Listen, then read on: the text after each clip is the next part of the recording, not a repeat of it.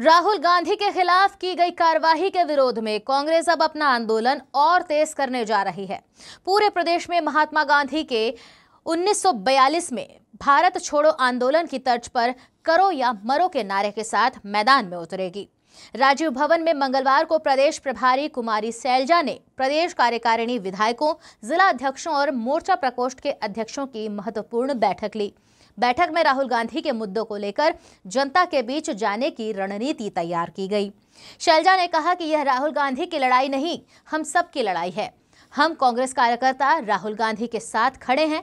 इस दौरान मोदी सरकार के खिलाफ निंदा प्रस्ताव भी पारित किया गया। साथ ही केंद्र सरकार की लोकतंत्र विरोधी रवैये के खिलाफ संघर्ष का संकल्प भी लिया गया। निर्णय लिया गया सभी लोगों ने अपने सुझाव दिए, बहुत अच्छे सुझाव आए हैं। एक देखने वाली बात यह है कि सभी लोग, हमारे कांग्रेस पार्टी के, चाहे वो विधायकगण हैं, चाहे पदाधिकारी हैं, डिस्ट्रिक्ट प्रेसिडेंट हैं, मंत्रीगण, सभी लोग बहुत उत्तेजित हैं कि भारतीय जनता पार्टी ने जो ये साजिश रची है और वो उनकी हर हरकत से प्रूव होती है। ये बात अलग है कि हम न्यायपालिका का आदर करते हैं और हमें इस देश के कानून पर विश्वास है। कानूनी लड़ाई हम कानूनी हिसाब से लड़ेंगे। लेकिन आज सारा देश, सारी दुनिया देख रही है कि इस बात पर कैसे राजनीति खेली जा रही है। कहीं ओबीसी का नाम ले आते हैं बीच में। इसमें ओबीसी कहाँ आ गए कहाँ इसमें जाति आ गई?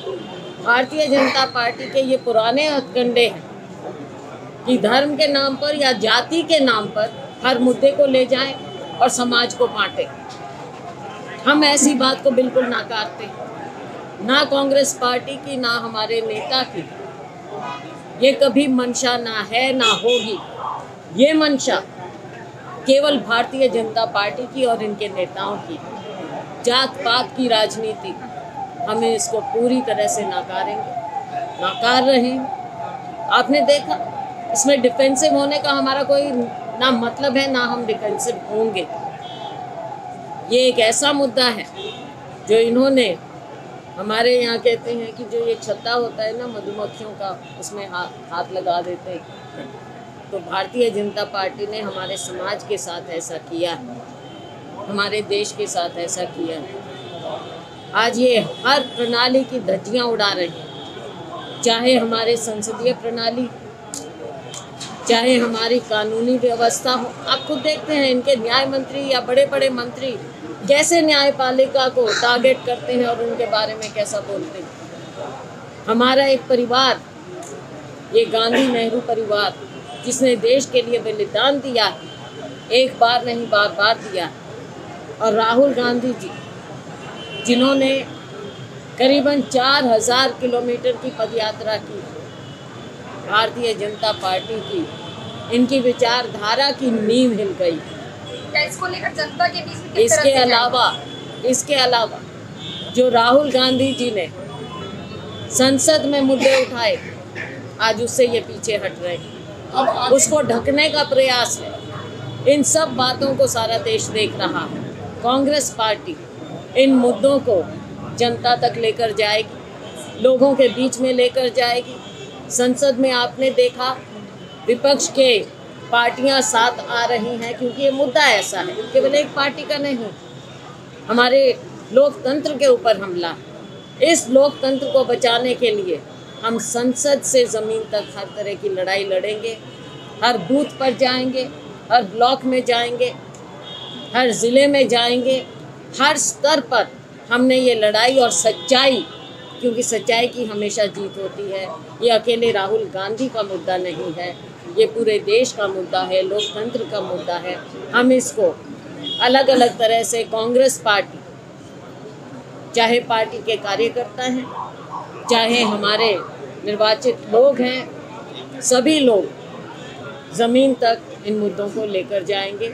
अलग अलग तरह से आपको समय समय पर हम बता देंगे कि कौन चाहे हमारे प्रकोष्ठ हैं चाहे हमारे डिपार्टमेंट्स सभी यूथ कांग्रेस एनएसयूआई कांग्रेस सभी लोग इन मुद्दों को लोगों तक लेकर जाएँगे। में प्रदर्शन की बजाय आपात स्थिति उत्पन्न करने जा रहे हैं।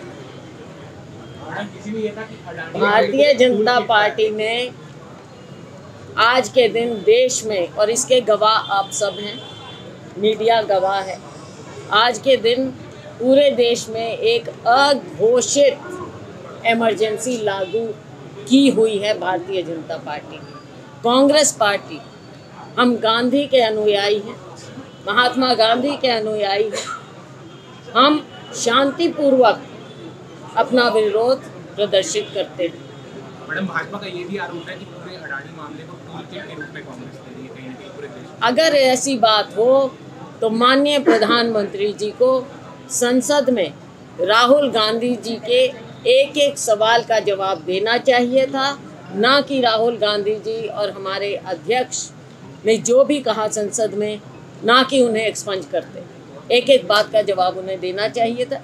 अगर उन्होंने कुछ गलत किया नहीं, अगर ऐसी बात नहीं जो राहुल जी ने उठाई है बात तो क्यों नहीं सामने आते और बताते कि असलियत क्या है? क्यों नहीं कोई इंक्वायरी उन्होंने इंस्टीट्यूट की? क्या हुआ कि सुप्रीम कोर्ट को करना पड़ा? जेपीसी की हमारी मांग थी।